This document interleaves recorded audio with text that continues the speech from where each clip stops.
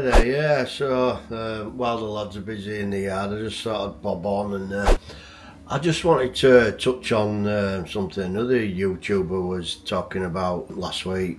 Chris from Every Trade. In fact, they've got a fantastic YouTube channel. He's literally come out of nowhere, storming it.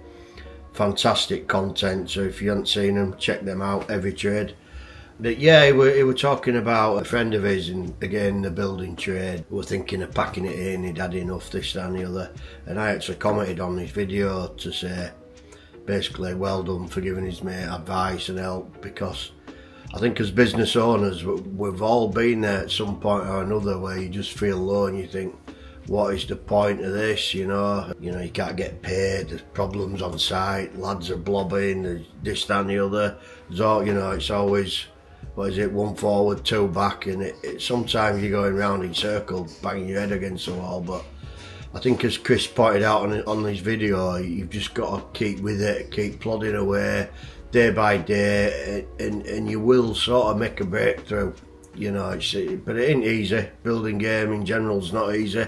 There's always somebody try to have your pants down. You got to have your wits about you, and I think more experience you get, you know, you sort of look out for these telltale signs, warnings, you know, is he going to be a nightmare customer? Is this site suitable for us? You know, and I think once you get a bit more established, you, I wouldn't say you can pick and choose, but you know where your bread's buttered, so you know where your, you know, your, your best paying clients live, you know, your marketing sort of geared towards that. Um, I mean, Teckles, for example, fencing contractors. Years ago, I used to do fencing for literally anybody, builders, contractors, anybody.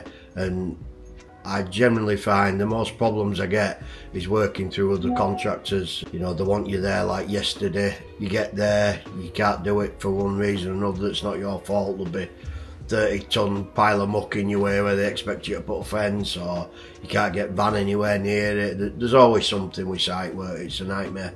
So we don't do a lot of that type of stuff anymore. Um, for, for obvious reasons, that and the other one is, like I said, they want you there yesterday and then once you've done the job, it's like the ghost you.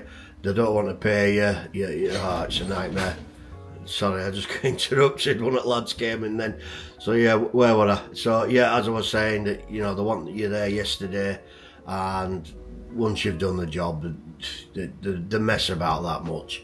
Um, they don't want to pay you. Um, you know, even though you have your terms, this, that, and the other, and it, you know, and, and all that nonsense where they try to take retention and main contractor discount, whatever else nonsense. It's like something from 1980s.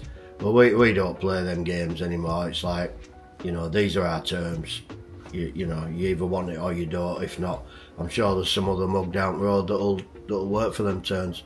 So we, we, we've niched down a lot these days and we do a lot for schools and stuff like that, which we don't mind. Oh, yeah, you have to wait for your money still, but but you know it's nailed on with schools, you know, because they've got to have the money set aside when they give somebody a purchase order, whereas you'll generally find, I mean, I'm not saying all contractors, don't get me wrong, some we still work with, they're fantastic, pay us straight away, you know, some even pay us literally same day, next day, you know, you can't beat them types of clients, so we work close hand in hand with them, you know, and we go out of his way, we help them, they, you know, they help us by paying us basically. Uh, which they should do anyway, but you know what I mean. Um, that so we're always very wary with new clients, especially sort of contractors, um, main contractors, um, because we just find they're an absolute nightmare. So yeah, I just wanted to jump on and touch that from following on from what what Chris said, and basically my point is keep at it because uh, hopefully you'll get there in the end.